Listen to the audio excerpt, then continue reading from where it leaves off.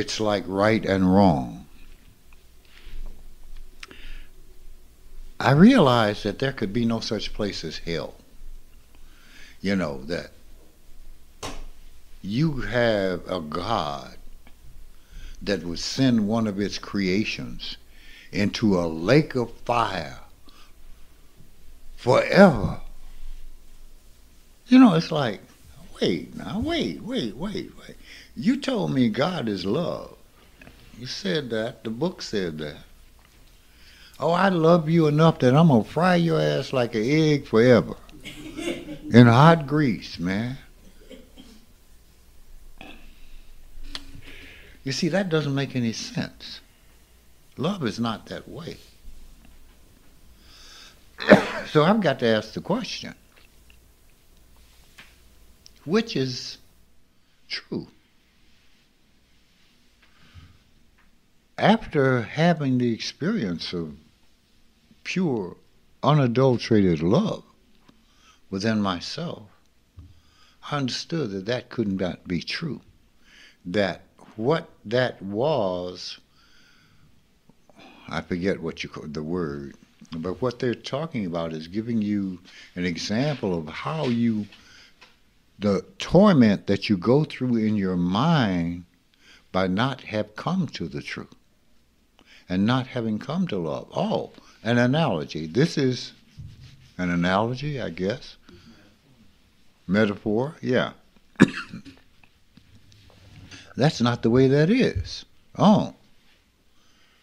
And then I began to realize as I read more and more about not necessarily the book, because I had read the Bible religiously. I was a Southern Baptist. And I had read that religiously ever since I was a little kid, because some of it was sexy and some of it was like, well, wait a minute, let me figure out how to stay out of this lake of fire. And let me understand a bunch of stuff. So I began to read other things and see that, wait a minute, this is not literal. It means something else. So it was in asking the right question. In order to ask the right question, I have to question all sides. And when I when that answer comes together, I have to be able to accept that answer um, looking at something the other day where they had a couple on who practice. Um, they're married to each other, but they sleep with other people. And I listened to the. What do you call the people who go one to one? Huh? Monogamous? Yeah, the monogam- monogamous people. I heard the fear in them. Oh, well, I couldn't do that. Well, Nobody asked you to do that. Okay? You are monogamous, then be monogamous. They are poly, whatever, amorous, then that's up to them.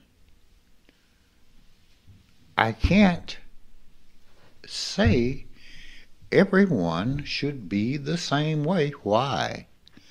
Because they're not.